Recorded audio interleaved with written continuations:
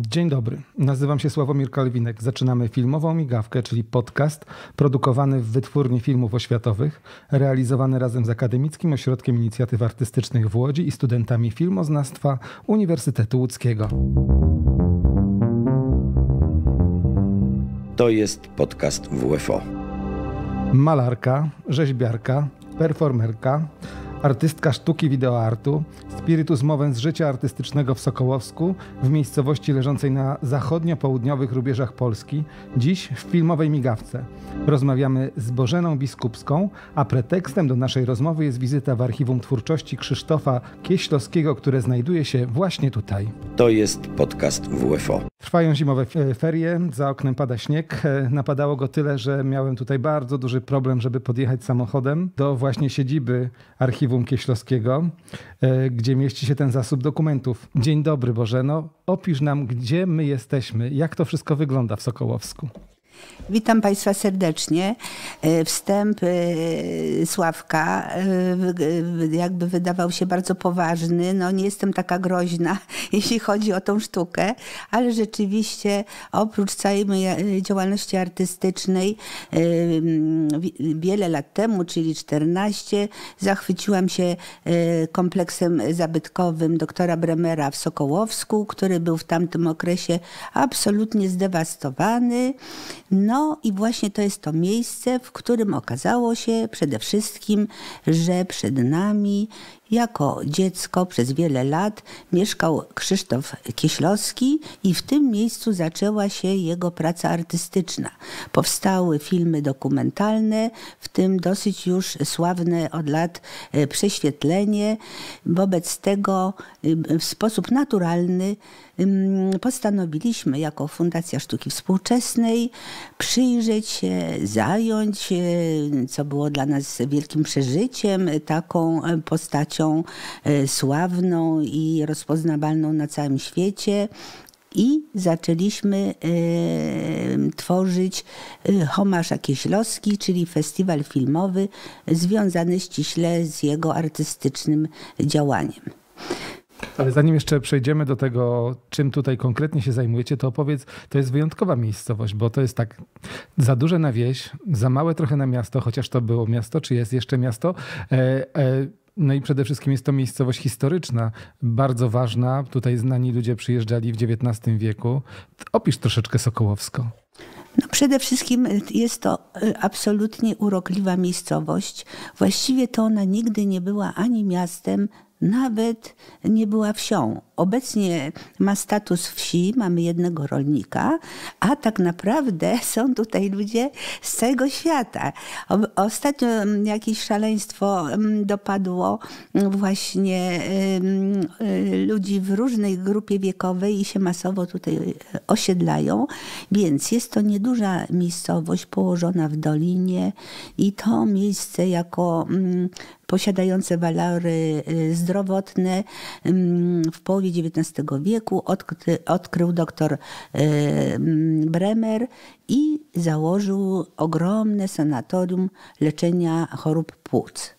Oprócz niego jeszcze kilkunastu innych przedsiębiorców postawiło e, równie wielkie albo trochę mniejsze budowle i to było właśnie słynne miejsce i prawdopodobnie Tomasz Mann był właśnie w dawnym Gerbersdorfie, czyli obecnym Sokołowsku i tutaj wyraźnie czuje się mm, jakby atmosferę czarodziejskiej góry. Szczególnie chodząc po salach takich jak leżakownia, czy jadalniana sala, czy biblioteka. Y, wobec tego to, mm, to odczucie jest bardzo silne. I w pewnym momencie ty się znalazłaś tutaj z Podkowy Leśnej, przyjechałaś. Jak to było? No, e, było najpierw długo, czyli e, wiodąc dosyć e, przewidywalne życie artystyczne i takie swoje mm, towarzyskie i osobiste, mm, pięknej również podkowy leśnej, postanowiłam uciec i poszukać Wspólnie z Zygmuntem Rytką, moim partnerem, obecnie nieżyjącym, i córką Zuzanną Vogt, na bazie założonej przez nas fundacji, innego jakiegoś dużego, totalnego miejsca, które dałoby nie tylko możliwości naszej twórczości, jak również y, przede wszystkim y, no, spełnienie y, też marzeń i, i możliwości realizacyjnych innych artystów. I tak też się dzieje od wielu, wielu wielu lat. Natomiast szukaliśmy dwa lata takiego miejsca w Polsce i nie udało się nic znaleźć, aż dotarliśmy do Sokołowska i już na drugi dzień było, była podjęta decyzja, że to jest to. I no już właściwie nie widzieliśmy tego, że budynek nie istnieje, czyli to sanatorium doktora Bremera, że są tylko mury, że walą się kominy, że praktycznie niczego nie ma oprócz kapitalnego remontu w przyszłości, ale to w ogóle nie miało znaczenia. Jest przepiękny park, właśnie ta atmosferyczna miejscowość i no, ku jakiemuś zdziwieniu i przerażeniu e, naszych znajomych i przyjaciół podjęliśmy taką decyzję i zaczęło się to szaleństwo, które trwa do dzisiaj, ale mm, wydaje mi się, że nie ma w mojej e, pamięci żadnego momentu, kiedy byłam mm, jakby e, pod znakiem zapytania, czy to miało sens. Oczywiście, że miało, mm, bo budynek już jest w jakimś sensie zabezpieczony i, i daje możliwości realizacyjne, e, jeśli chodzi o właśnie koncerty, wystawy, film, filmy. Przepraszam, muszę ci przerwać. To jest radio. Wprawdzie przez internet. Opowiedz, jak wielki jest ten obiekt, a właściwie obiekty, bo jesteśmy w jednym budynku wielkości kamienicy, a drugi jest wielkości ogromnego, średniowiecznego zamku. No tak. Mhm. I, I kino jeszcze. I kino. Mhm. I park. tak. E, kompleks e, zabytkowy, czyli to sanatorium, e, no jest to właściwie no, praktycznie niewyobrażalna skala bo to jest y, obszar 6-7 tysięcy metrów kwadratowych, to są wysokie kubatury, to są duże sale, y, klatki schodowe, więc skala tego budynku robi wrażenie. No i właśnie o to chodziło, ponieważ artyści wykorzystują tą przestrzeń. I zwiedzający wobec tego mm, jest to e, taka trampolina do e, wielu odczuć i, i wielu możliwości realizacyjnych. A samo, a samo e, archiwum Kieślowskiego, które tutaj się w pewnym momencie znalazło, czym ono jest? No, archiwum Kieślowskiego jest to naprawdę skoncentrowana, gigantyczna pigułka wiedzy o Kieślowskim. Prowadziliśmy to prawie 10 lat. Mm, archiwum jest no, już jakby na ukończeniu. To są tysiące dokumentów, y, przede wszystkim scenariuszy, scenopisów, mm, notatek, y, projektów y, poklatkowych, korespondencji, mm, ulotek. No, wiele lat wnikliwego opracowywania oryginałów. To jest ogromna odpowiedzialność, ponieważ posiadamy to archiwum w oryginale, ale ono również jest już przełożone na, na postać cyfrową, na prawda? Postać jest cyfrową, strona też internetowa. Tak, strona internetowa. Oczywiście mm, scenariuszy nie można pokazać w całości, chyba tylko trzy strony. W każdym razie to archiwum to jest miejsce, które da nam wkrótce już, mam nadzieję, możliwość zaadoptowania drugiej kondygnacji budynku sanatorium właśnie dla potrzeb studyjnych i pracy jakiejś innej twórczej na bazie tego archiwum. Przypomnijmy, że strona, o której mówisz, e, nosi nazwę www.kieślowski, tak jak kieślowski.com i tam możecie Państwo znaleźć właśnie te wspomniane e, scenariusze, między innymi tutaj trzy kolory, widzę pierwszy, który mi się rzucił w oczy, dużo różnych niezrealizowanych również projektów Kieślowskiego, bo on był płodnym twórcą, który nie wszystko nakręcił, co wymyślił. E, to jest rzeczywiście imponująca praca, dokumenty przekazane przez żonę, wdowę po Kieślowskim, no to jest ogromna ilość dokumentów, ogromny zasób, który również tutaj y, y, jest badany przez filmoznawców. Również tutaj odbywają się różnego rodzaju e, prace e, scenariuszowe, chociażby warsztaty, dzięki którym ja akurat trafiłem do, do Sokołowska. Już nie pamiętam jak dawno temu, ale bardzo dawno temu. Też chyba 10 lat. O, co najmniej moim 12, zdaniem. jak jeszcze nic nie było. Tak, tak. Także można powiedzieć, że to jest imponujące dzieło życia.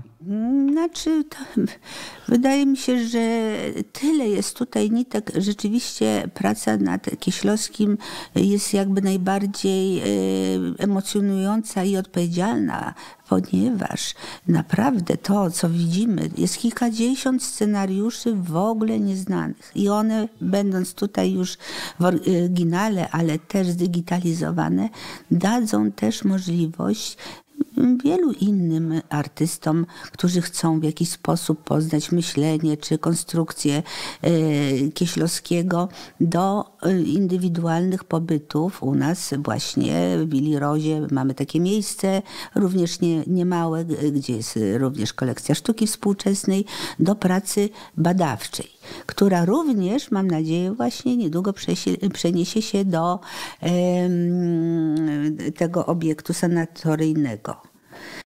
Za chwileczkę, proszę Państwa, wrócimy do naszej rozmowy. Naszą, e, naszym gościem no, jest e, Bożena Biskupska, która jest e, założycielką Fundacji Insitu, która właśnie tutaj w Sokołowsku ma swoją siedzibę. A zapraszam Państwa na chwileczkę, na krótką przerwę, gdzie powiem, gdzie możecie słuchać naszych podcastów. A naszych podcastów możecie słuchać na platformie YouTube, Spotify, Apple Podcast, Google Podcast oraz na stronie Akademickiego Ośrodka Inicjatyw Artystycznych. Odnośniki znajdziecie na stronie www.com.pl łamane podcast lub, na, lub w opisie odcinka. Zapraszamy do subskrybowania i słuchania naszych produkcji. Przypominam, że każdy odcinek można wyszukać w internecie w każdy czwartek około godziny 18. Zapraszam. A my jesteśmy w Sokołowsku i wracamy do rozmowy z Bożeną Biskupską, która nas tutaj właśnie gości naszą filmową migawkę. E, Kieślowski. Kieślowski to jest oczywiście tylko jedna, jeden z aspektów pracy, chociaż e, w Fundacji Instytu, chociaż muszę powiedzieć, że w Łodzi, e, z której tutaj przyjechałem i reprezentuję wytwórnię filmów oświatowych właśnie z Łodzi. Wystawa była prezentowana. Jak to się stało, że Kieślowski trafił do Łodzi, do Narodowego Centrum Kultury Filmowej? No nie mógł nie trafić.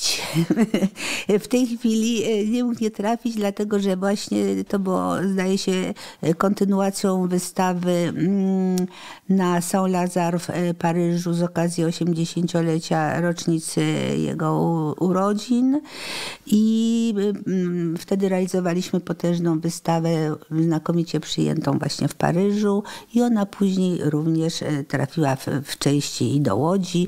I również jest obecnie część tej wystawy prezentowana w naszym Muzeum w Budowie w ubiegłym roku y, otwartym no, w stałej już y, ekspozycji. A jeszcze ludzie są tutaj, którzy łączą nasze miasta, prawda? Bo przecież Diana jest, e, Diana Dąbrowska. No, Diana Dąbrowska e, znakomicie się jakby sprawdza, ale też jest no, e, taką energią, która mm, wiąże Kieślowskiego właściwie z kinematografią ogólnoświatową.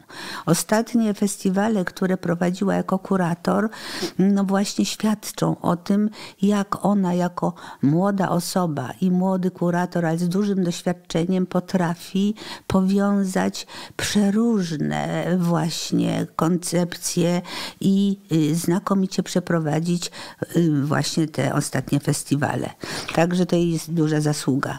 Właśnie, festiwale. Czym jest Omarz A. Kieślowski? Czyli w hołdzie Kieślowskiemu można by było powiedzieć chyba, tak? Właściwie chodziło nam o to, żeby jego postać była ciągle mm, żywa, ale nie z taką ogromną estymą, żeby pokazać jak e, jakiego e, koncepcje artystyczne są aktualne. Wobec tego nie tyle w hołdzie, tylko na dziś Y, Kieślowski na dziś, że on jest obecny zazwyczaj jednym filmem, albo jednym filmem fabularnym i jednym dokumentem, natomiast cały festiwal jest po, poświęcony sztuce światowej, kinowej, filmowej.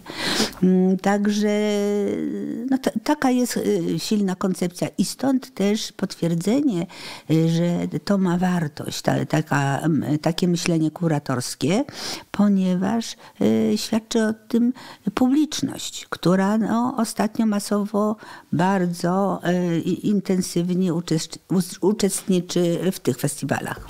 A właśnie, jakbyś mogła jeszcze wymienić, jakie festiwale organizujecie, za czym wy stoicie, bo tak naprawdę tych e, aktywności jest bardzo dużo. No bardzo dużo. My przede wszystkim e, ze mną na czele e, no, stoimy za sztuką. Wobec tego, jakie formy ona przyjmuje, to jest już później zupełnie inna y, sytuacja. Więc co? Najpierw jest y, y, ten mm, festiwal kontekst.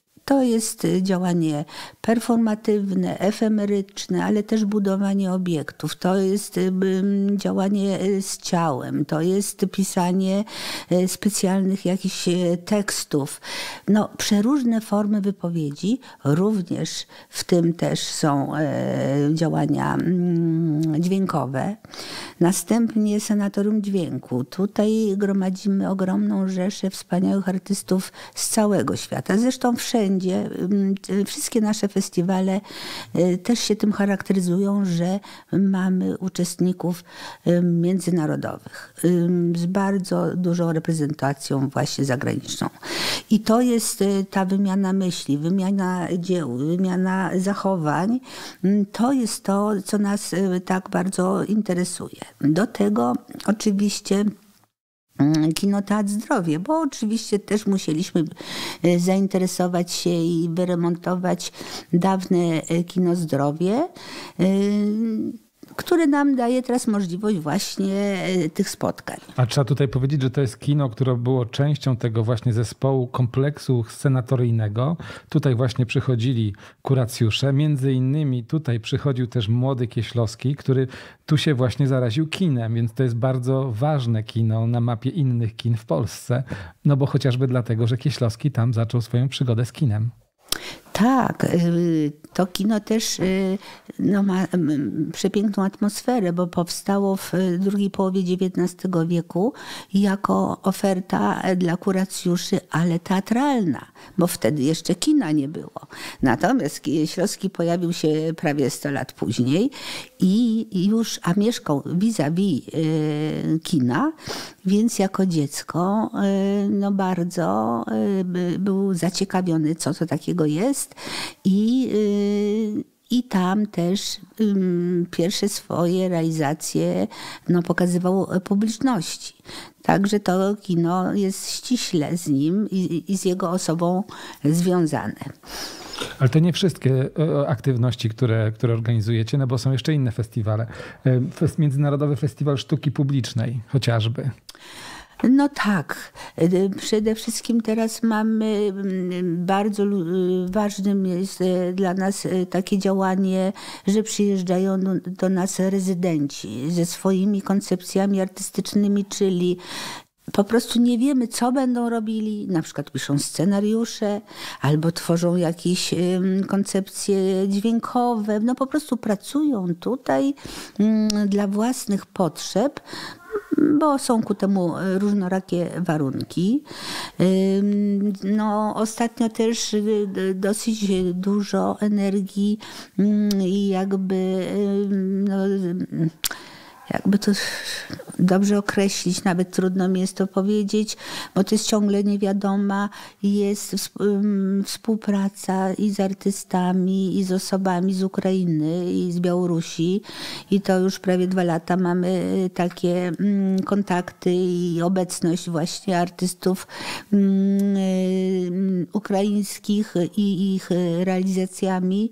Więc to jest jeszcze kolejny taki nurt zupełnie specyficzny. Sanatorium Dźwięku.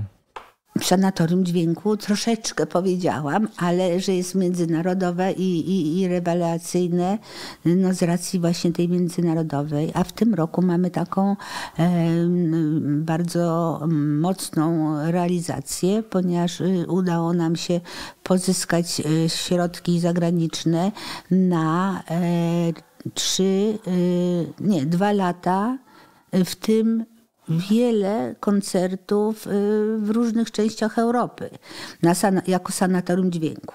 Czyli bardzo międzynarodowa nasza obecność w, w Europie. Mimo to nie jest lekko, chociażby dlatego, że samo odbudowanie tej tkanki budowlanej to jest przecież zadanie na pokolenia, moim zdaniem. Ja jakoś sobie musicie radzić. Jak wam się to udaje? Czy wydaje mi się, że na pokolenia to nie, bo to wszystko zależy od y, finansów. Natomiast y, udaje się, bo jesteśmy uparci, mamy szczęście, tak mi się wydaje, bo po prostu pojawiają się u nas też osoby, y, które widzą, y, co robimy i którym też na tym zależy. I to jest y, ta taka wartość. Mm, natomiast niewątpliwie y, mogłoby to wszystko przyspieszyć, ponieważ mamy ściśle przemyślaną koncepcję i na przykład pojawienie się już y, całego działu filmowego na drugiej kondygnacji w Senatorium Dźwięku y, wymaga tylko pieniędzy, bo to jest wszystko już i sala wystawowa, i jest sala konferencyjna na przepięknym y, strychu, y, nie wiem, 16 metrów y, ma więźba dachowa historyczna. To wszystko jest w stanie surowym i teraz, żeby tam przenieść archiwum właśnie z Willi Rozy do, na drugą kondygnację, żeby tam był dział związany z pisaniem scenariuszy, scenariuszy i innych mm, prac artystycznych. Mm, to wszystko ma już nadany jakiś rytm, tylko chodziłoby o y, to, żebyśmy mogli więcej pozyskiwać dofinansowań. Stąd też zawsze, no niestety mm, muszę jakby zwracać się do wszystkich, y, czy słuchających, czy chodzących i oglądających nasze tutaj poczynania o możliwość no, wsparcia nas w tych działaniach. Jak będzie w przyszłości wyglądało Sokołowsko, Archiwum Kieślowskiego i fundacja, którą prowadzicie razem z Zuzą? Mm. No dobrze będzie wyglądało, nie może być inaczej. Będzie piękne. Potwierdzeniem jest chociażby w tym roku osadzenie około 60 gigantycznych okien właśnie w części południowo-wschodniej. Więc ja byłabym dobrej myśli, gdyby nie świadomość, że czas galopuje bardzo i y, są jeszcze partie budynku, które by trzeba błyskawicznie zabezpieczać, a inne z kolei otwierać dla publiczności.